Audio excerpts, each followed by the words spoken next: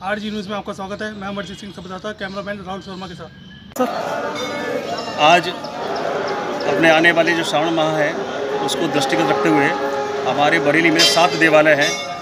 उनमें से प्रथम आज बाबा त्रिवटीनाथ के हम लोग अभिषेक करने आए हैं और जन कल्याण की मंगल कामना से बाबा भोलेनाथ के चरणों प्रार्थना है कि जो बरेली में इस समय जो भीषण गर्मी है, उसमें थोड़ा सा राहत मिले थोड़ा बरसात हो इसमें जड़ चैतन्य को जीव को सबको ही थोड़ा थोड़ा लाभ मिले।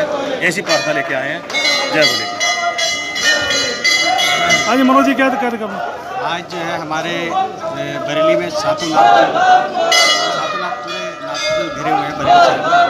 तो सबसे प्रथम हमारा जो कार्यक्रम का सबसे प्रथम चरण है त्रिवेणनाथ मंदिर में रुद्राभिषेक विशाल जिसमें हम लोगों ने बहुत पहले से तैयारी में लगे हुए थे और ये सभी भक्त अपने भौतिक सुखों की प्राप्ति के हेतु विशाल उद्रव से जिनको जो है अपनी अपनी अभिलाषाएँ पूरी करने के लिए बड़े बड़े को लेकर हैं